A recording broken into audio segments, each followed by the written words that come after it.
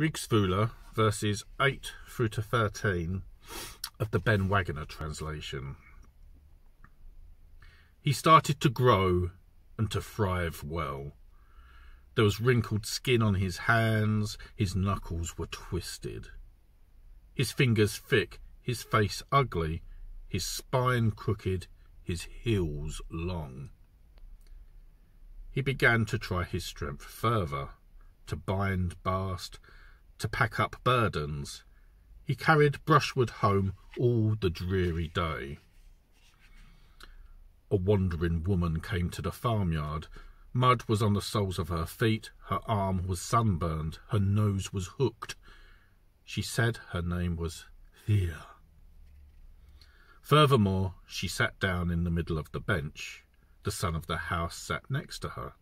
Thrall and Thea talked and conversed.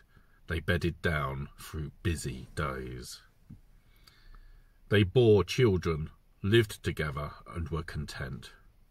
I think they were named Shriek and Cowherd, Rude and Horsefly, Horny, Stinker, Log, Fatty, Sluggish and Grizzled, Stooped and Thick Legs.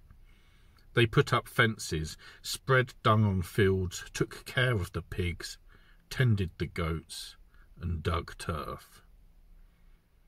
The daughters were log and clumsy, lumpy calves and eagle beak, noisy and concubine, oak stake, tattered blouse, and crane legs. The families of thralls are descended from there.